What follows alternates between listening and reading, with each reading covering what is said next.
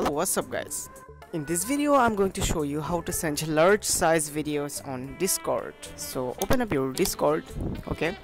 So let's suppose i want to send this person that video that uh, large file of video okay? And here you can see that uh, let me just pick any kind of large file I want okay? And I want to send this video to this person. Just click on open and here you can see that uh, your files are so powerful. Okay if you upload any kind of video file or files up to 8 megabytes this it this ain't gonna, going to upload. Now what you can uh, do is simply just uh, you can upload your video file on your google drive okay?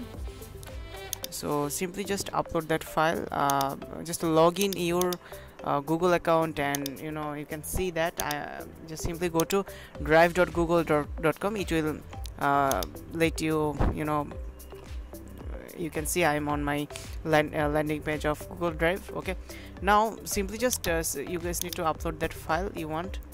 Uh, select the file okay? Uh, this should be right here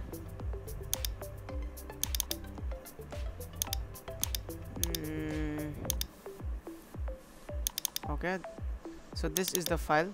So I've selected and you can see that it's uh, being uploaded. Okay. So this uh, this won't uh, take much longer time. Okay. Now here you can see this file is uploaded. So you can see that three dot right here. Click on that three dot. And you can see that share button. Just click on that. And here you can see the change to link uh, change to anyone with that link. Click on that. Okay so anyone with that link you can set as editor commenter or viewer. So i'm just selecting as viewer so that they only can view or download this file. Okay and simply you guys need to copy that link and you guys need to paste that link here.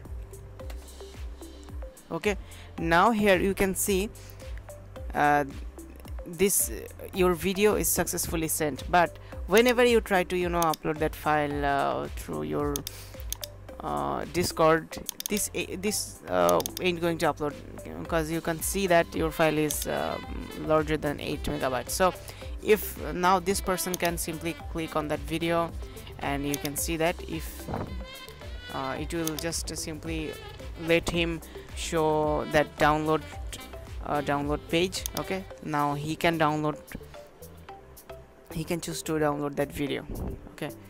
You can see he will be able to download like just like this. So i hope you guys understand how you can send long files in uh, discord okay?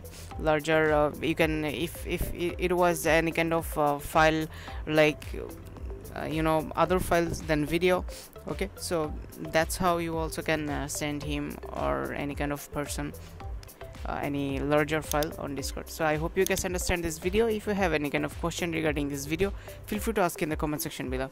I will see you in the next video. Until then stay tuned with 5 minute solution